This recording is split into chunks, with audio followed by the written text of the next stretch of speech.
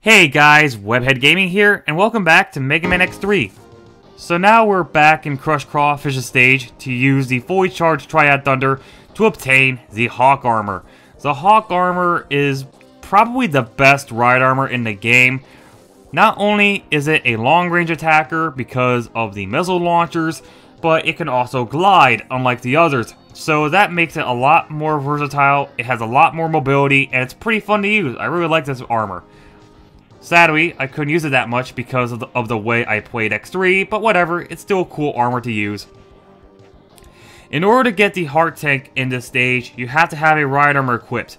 That's not the Frog Armor because the Frog Armor will not make this jump. But basically, you need to go down two stories, blow up this wall that doesn't look like it can be blow up, blowed up, but whatever, and boom, there's your Heart Tank. Back in Toxic Seahorse's stage, there is a kangaroo armor we can get. It is the final armor piece that we can get. And we can get it in two ways. We can use the Frost Shield fully charged to take a, a short way up. Or we can use the Frog Armor and take the current that will lead us to a wall that we can jump up on. The Frog Armor is by far the most useless ride armor in the game. It's very situational because it does Did We Dick on land, and uh, it's great on water, but I find it super awkward to use. I mean, yes, the homing torpedoes are great, but I don't know, jumping with this thing feels very finicky, and some of the abilities it can have it just doesn't want to register. I don't know what it is, but I find a frog armor to be very, very useless. So by using one of the two methods, we can get up here, and uh, we have to do a series of jumps without taking damage because if we get hit at all, we'll get knocked back into the water and we'll have to do it all over again. But once you do get up there, boom, there's your ride armor piece. So now we're back in Volt Catfish's stage where I'll show off the final ride armor in the game, the Kangaroo armor. Why? Because, well, we need, we need to use a ride armor to get the sub-tank here. The Kangaroo armor is basically the exact same thing as the Chimera armor, except it's got claws for hands, so yeah. And there's our heart... Sorry, sub-tank. but luckily, we're now done with the backtracking. We can finally move on to the last stages of the game. Praise the sun! The Doppler stages are probably the hardest series of final stages in the SNES X Trilogy. I don't know, there's a lot of things here that can be really annoying. Some of the enemies you'll encounter are pretty goddamn annoying. The contraptions, like this one right here, are very, very deadly. Be very, very careful because those ceiling spikes are instant kill, as always, and you do not want to touch them.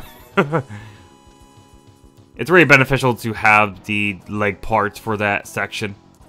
So now we're at a crusher part, very similar to the one in X2, although it's much easier, and this is the only time this ever happens in the stages.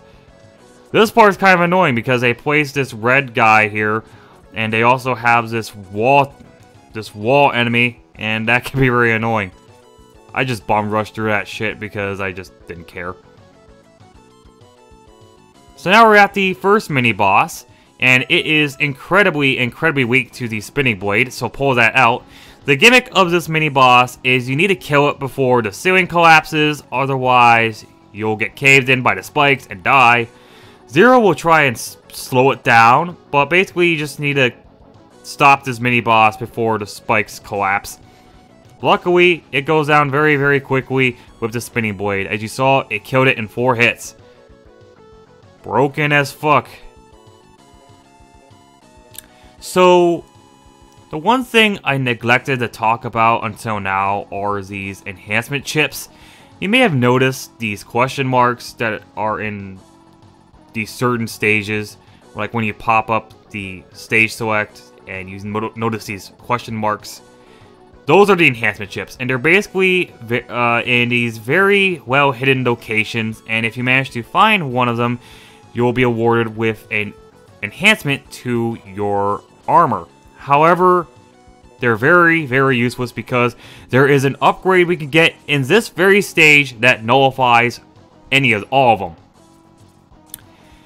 If you do get an enhancement part here's what sucks about it. You can only keep it, you can only keep that one part. You cannot equip the others, and uh, you don't have an option to switch back and forth between what enhancement parts you want. Granted, this was fixed in the enhanced port, but still really stupid. And you also lose out on the super secret if you get any of them. So, yeah. I honestly don't recommend getting any of them because they're, again, the super secret here, which requires you to have all of the items in the game, as well as be at full health, which is why I wasted that sub-tank right there. It nullifies all of them because it gives you all of the capabilities at once in this golden armor. And I really don't get that. Like, why even bother with having these four hidden locations when you're going to put the super broken one in the the final stages? Like, I don't know. It feels like the enhanced chips just feel like a waste of time to design and place, but whatever. So once we go down there, we uh, we are rewarded with the golden armor. The golden armor has all of the capabilities of the enhancement chips. You can double dash. You can take even less damage than before, to my knowledge. Uh, there is this ability to shoot charge shots instantly, but it takes up ammo. And if you stand still, you can heal yourself. And it can also fill up sub-tanks. So, really, Get the golden armor every single time you play X3. It's so much better compared to the enhancement chips that are found in the certain stages. So now we are refighting Bit. However, it's very different this time because Bit will transform into this monstrosity known as God Car Machine O Inari. If you spared both Bit and Byte, this boss will show up, but it's a little bit stronger. If you decide to kill one of them, but leave the other one alive, then it's even weaker. then it's even weaker than as opposed to sparing both of them.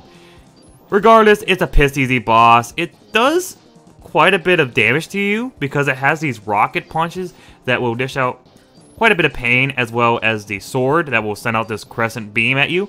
But you can kill it so easily with a ray splasher, it's really a non-issue should have no issues with Godkarmachine O Inary. It's a pretty, pretty easy boss. Especially when you have the golden armor. So, if you took down both Bit and Byte in the main stages, you are greeted to this presser machine. And it's definitely a lot more challenging, but not by a whole lot. In order to hit it, you have to, to uh, shoot the forehead which is pretty annoying because it has a pretty small hitbox, and and it's being protected by this nose. You have to kill off, if you want to make this a lot easier to kill, then kill off the nose, but be careful because if you kill off the nose, then he will fill up the whole arena with acid, which makes dodging his attacks even more difficult to do. He's weak to the Ray Splasher, but I find that to be incredibly inaccurate, especially because he's got that fucking nose. Otherwise, he'll try and grab you, and if he do, he will slam you, and that will do quite a bit of damage. The the uh, tube part will, will constantly send out these robots and junk crates, and the robots will shoot at you, but they don't do a lot of damage. And, uh, yeah, there's not much to really say about this boss. It's a bit more challenging than Godkarmachine O Inary. Maybe because it's a lot more annoying to hit. But, uh, it's not too bad once you get used to it. Really, it's just beneficial to use the mid-charge shot and the pellets because they're by far the most accurate on this guy. And of course, a lot of things can block your more powerful shots. Uh, the hitbox of this thing is pretty... It can be pretty lenient, though, so uh, just keep shooting at it, and you'll eventually take it out. Not too difficult. Uh, you do have four sub-tanks, so even if you do fuck up, you can always restore your health. And that's that. That's the two bosses that are in this first stage. Overall, they're both not too threatening. You should be able to take you should be able to take care of them both pretty quickly. And yeah. I'll see you guys in the next part when we go to Doppler Stage 2.